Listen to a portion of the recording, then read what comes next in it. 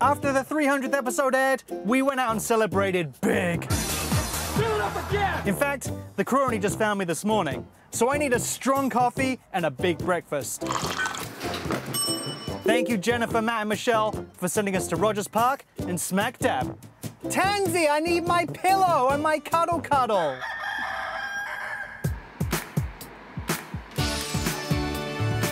Why breakfast? What is it?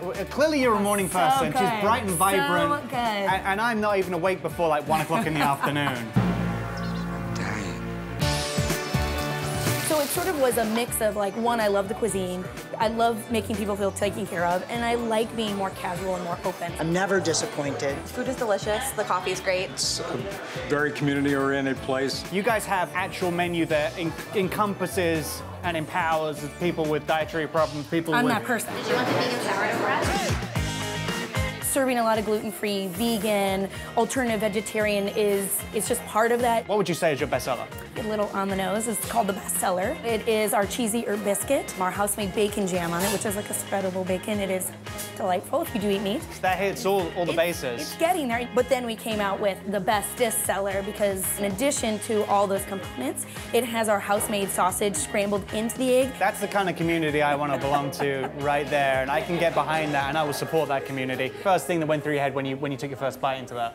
Cheesy biscuit, delicious.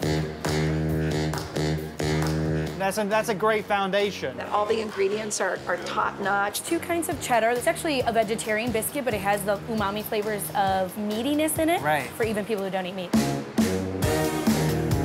This is our house-made pork sausage. It's an English-style sausage. This is like a, a little breakfast portion that my mum would send me off to school with.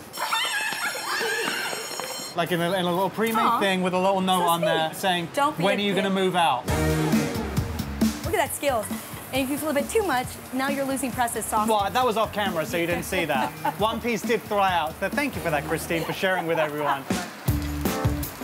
Oh, yeah. And you're just gonna be lifting and allowing the egg to kind of fold underneath because what we're looking for is a foldable, a little gentle, gentle. There we go, yeah, there we go. Look at that. Then you're gonna season it with our southern blend of seasoning. You know, the moment of truth. Now you're gonna flip it. That was an anticlimax.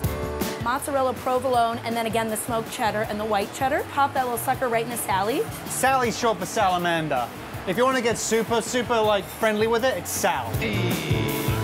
What is this? So That's gonna be um, a spreadable bacon. It's cooked down with onions, honey, and it's literally just spreadable bacon. Do you want to let that sink in? Uh-huh. Bacon jam.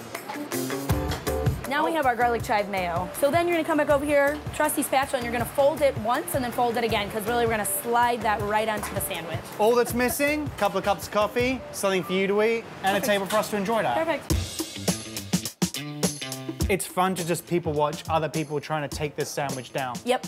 I mean, you have a big mouth. Appreciate you noticing. Okay. Clinker Cheers, first. Clinky. You're like doing really well with that, like in a hand though. I'm a pro.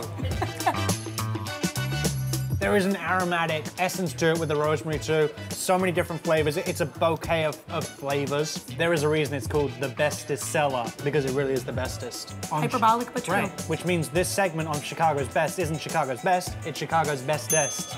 We're making It really is Chicago's best. You make history every day.